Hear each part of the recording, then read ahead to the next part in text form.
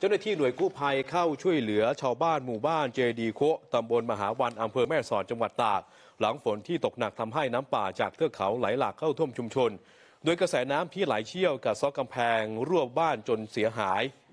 ทำให้น้ำทะลักเข้าท่วมบ้านพัก ทรัพย์สินได้รับความเสียหายบางส่วน ขณะที่ชาวบ้านในหมู่บ้านต้องเฝ้าระวังตลอดคืนเนื่องจากเกรงว่าจะมีน้ำป่าซ้ำ ส่วนที่น้ำที่ท่วมขังในเขตเทศบาลนครแม่สอดเมื่อวานนี้ แม้จะลดระดับลงแล้ว แต่นายธนยศปานขาวในอำเภอแม่สอด ยังเตือนประชาชนให้ระวังน้ำท่วม และน้ำป่าไหลหลาก โดยเฉพาะชุมชนเสี่ยงภัยควรเก็บทรัพย์สินขึ้นสู่ที่สูง